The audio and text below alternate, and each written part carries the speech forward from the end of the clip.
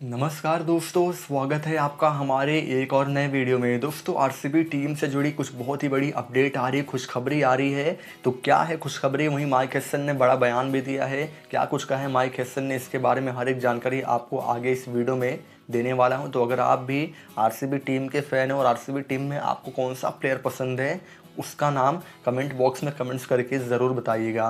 वहीं लाइक ज़रूर कीजिएगा। चैनल पर नए आए हो तो इसे याद से सब्सक्राइब करके बेल आइकन को भी दबा कर रख लीजिए ताकि आपको भी आरसीबी टीम से जुड़ी हर एक अपडेट्स मिलती रहे। वहीं ओनली आरसीबी के नाम से हमारा टेलीग्राम चैनल भी है। अगर उसे ज्वाइन नहीं किए हो तो याद से ज्वाइन कर लीजिए। वहाँ भी आपको आरसीबी टीम से जुड़ी और क्रिकेट की हर एक इंपॉर्टेंट न्यूज़ लगातार मिलती रहती है।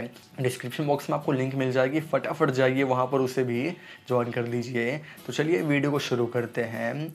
दोस्तों आईपीएल 2023 शुरू होने में अभी फ़िलहाल काफ़ी वक्त बचा हुआ है।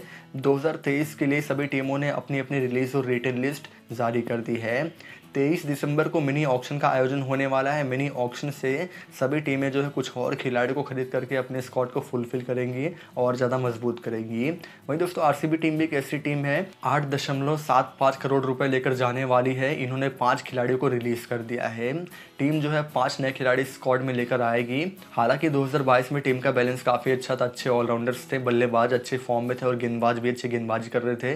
तभी टीम जो है काफ़ी आगे तक पहुँची थी आईपीएल 2022 में। उम्मीद है कि वैसा ही प्रदर्शन दोहराएगी आरसीबी और 2023 में भी प्लेऑफ तक पहुंचेगी, इस बार चैंपियन बनेगी। वही बड़ी खुशखबरी आ रही ग्लेन मैक्सवेल को लेकर, जिनको लेकर माइक हेसन ने बहुत बड़ा बयान दिया है। आपको बता दें कि मैक्सवेल जो है फ़िलहाल इंजर्ड हो चुके हैं और करीब वो तीन से चार महीने तक क्रिकेट से पूरी तरह से बाहर रहेंगे। डाउट ये हुआ था कि शायद से मैक्सवेल को आरसीबी टीम रिलीज़ कर देगी, वो आई दो में नहीं खेल पाएँगे। मगर दोस्तों, मैक्सवेल को आरसीबी टीम हर हाल में रिटर्न करने ही वाली थी और रिटर्न भी कर लिया है। और माइक हिस्से ने ये क्लियर भी कर दिया है कि मैक्सवेल आईपीएल 2023 से पहले पूरी तरह से फिट हो जाएँगे और आरसीबी टीम के लिए अवेलेबल रहेंगे, हमें खेलते हुए दिखाई देंगे।